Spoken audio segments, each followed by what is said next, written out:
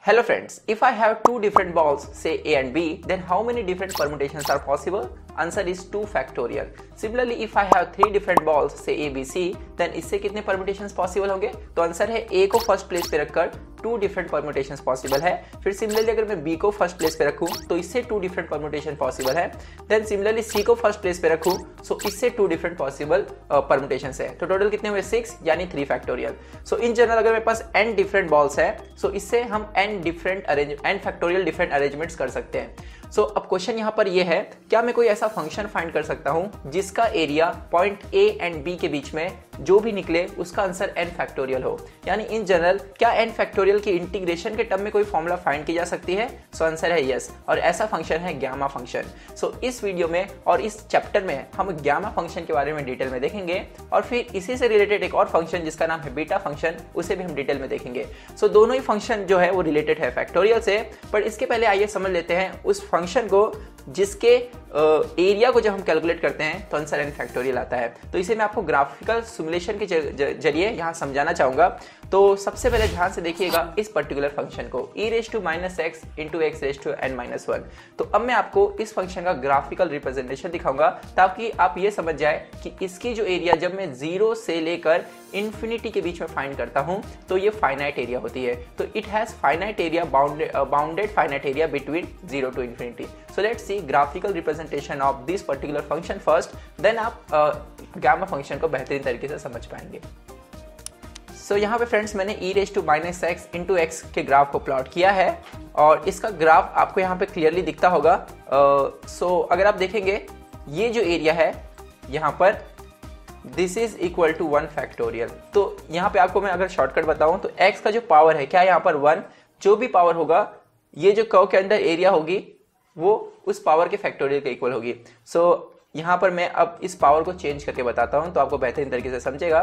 तो देखिए जैसे ही इस पावर को मैं टू करता हूँ सो so, इस पावर को टू करते ही इस ग्राफ में कुछ इस तरह का चेंजेस होता है। तो आप देखेंगे ये जो शेप है अभी भी सेम है है कि नहीं? सिर्फ़ इसका साइज़ बढ़ चुका है। तो अब इसका आंसर ये जो एरिया होगा ये टू फैक्टोरियल होगा। ये मैं अभी नेक्स्ट वीडियो में प्रूव करके दिखाऊँगा कि ये एरिया का आंसर टू फैक्टोरियल है। या इन जनरल जो भी यहाँ पर पावर होगा उसके फैक्टोरियल के इक्वल ठीक है? सो देन फ्रेंड्स अब मैं एक्स के पावर को अगर थ्री करूँ तो आप देखेंगे जब टू था इवन पावर था तो ये पॉइंट के लेफ़्ट हैंड साइड देखेंगे कब अप अप पे है। जब पावर्स ऑड होंगे तो कव डाउन साइड होगा ठीक है? सो so, यहाँ पर अब मैं इस एक्स के पावर को थ्री में चेंज करूँगा।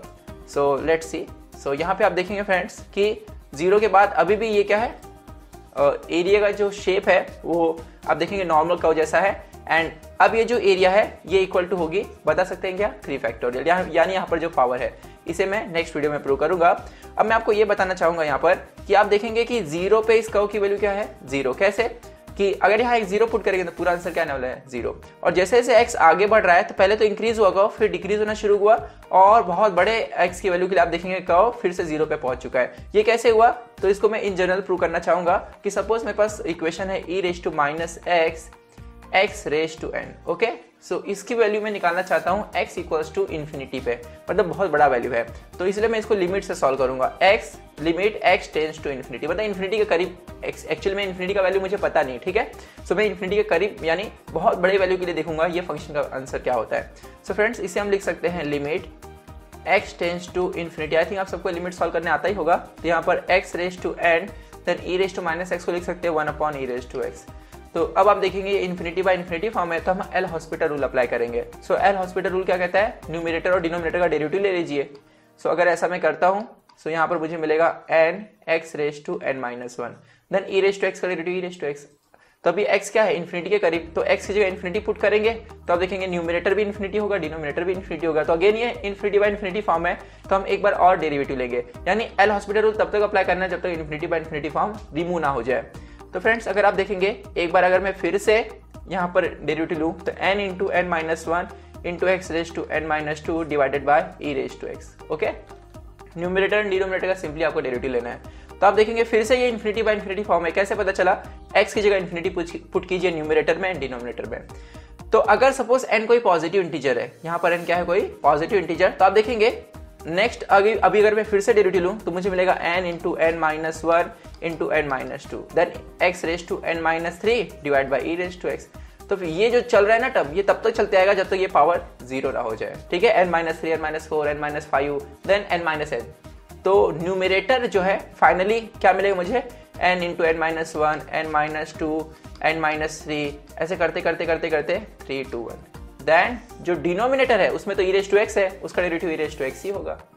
तो अब यहाँ पर मैं लिमिट लगाऊँगा एक्स टेंस टू इन्फिनिटी मुझे लग रहा है आप समझ रहे हैं? तो यहाँ पर मैं हॉस्पिटल रूल लगाते जाऊँगा लगाते जाऊँगा, जब तक एक्स का पावर एन माइनस एन ना हो जाए।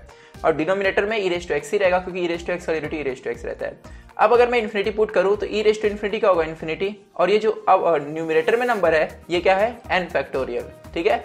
तो एन फैक्टोरियल डिवाइड बाई क्या हो जाएगा? इन्फिनिटी तो any positive number divided by infinity क्या होता है? ज़ीरो तो इसलिए इसका आंसर क्या आएगा? ज़ीरो अगर x टेंस टू इन्फिनिटी है। तो मैंने प्रूव कर दिया, ये जो फ़ंक्शन है, इसका आंसर ज़ीरो होता है अगर x इन्फिनिटी के करीब जाए। और यही आपको ग्राफ में दिखता होगा कि ग्राफ ज़ीरो को टच करने जा रहा है जब इन्फिनिटी है। ये मैंने आपको क्यों बताया कि ज़ीरो से लेके इन्फिनिटी के बीच में ये जो कव है, इसकी एरिया बाउंडेड है। आप समझ रहे हैं? और ज़ीरो के लेफ़्ट हैंड साइड अगर आप नेगेटिव साइड देखेंगे तो ये अनबाउंडेड एरिया है। यहाँ पर ये कव इन्फिनिटी तक जा रहा है, ठीक है? सो इसलिए इस कव की जो एरिया अगर मैं फाइनाइट ढूंढना चाहूँगा तो मुझे ज़ीरो से इन्फिनिटी तक मिलेगा। सिमिलरली फ्रेंड्स आप देखेंगे, अगर मैं एक्स का पावर अप चेंज करके फोर कर दूँ तो आप देखेंगे, अब ये जो कव है, देखिए, फिर से जो शेप है वो वही है नॉर्मल कव जैसा, है ना? और अब ये जो एरिया बता सकते क्या होगा?